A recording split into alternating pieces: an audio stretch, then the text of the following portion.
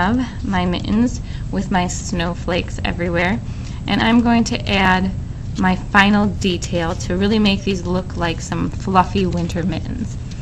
So I'm going to add some cotton ball strips to make them nice and fluffy around the wrists where you put them on your hands. So first I'm making sure that these are the right length so it's just about the same as this. If it's about the same as the width of the mitten. If I had it really long I'd tear a little piece off. I'll take a little off this side. It's not. There we go.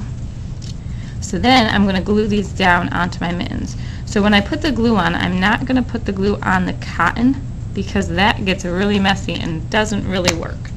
Instead, what I'm going to do is I'm going to move the cotton off and I'm going to put glue along the edge of my mitten ball on top of it and press it down everywhere to make sure it sticks. And then I'm going to do the same thing to my other mitten.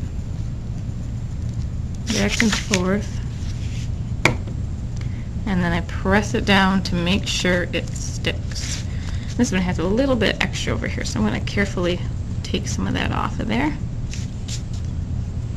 And now I have my two winter mittens with all of the snowflakes around them. And they make the map of Michigan.